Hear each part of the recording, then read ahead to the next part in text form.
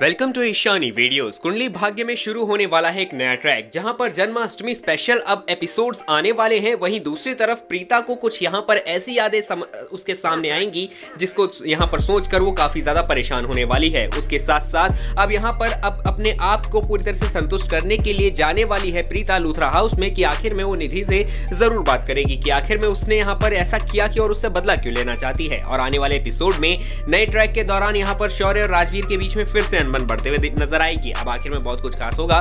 बताते हैं सारी बातें, लेकिन उसे बताने से पहले आप सब एक लाइक ज़रूर कर देना, क्योंकि आप सबका लाइक काफ़ी ज़्यादा इंपॉर्टेंट है। आप लाइक करेंगे, हमें अप्रिसिएशन मिलेगी और आपको ऐसी ही रियल और इंटरेस्टिंग अपडेट मिलते रहेगी। आने वाले एपिसोड में अब यहाँ पर राजवीर और शौर्य के बीच में तकरार फिर से बढ़ेगी, निधि इस बात का फ़ायदा उठाएगी और यहाँ पर शौर्य को पूरी तरह से एक ऐसा अश्योरिटी देगी कि वो राजवीर को अब यहाँ पर पूरी तरह से उसकी लाइफ से निकाल कर रहेगी। अब यहाँ पर कामयाब होगी, यहाँ पर निधि या फिर नहीं, आपको क्या लगता है? कमेंट करके ज़रूर बताना।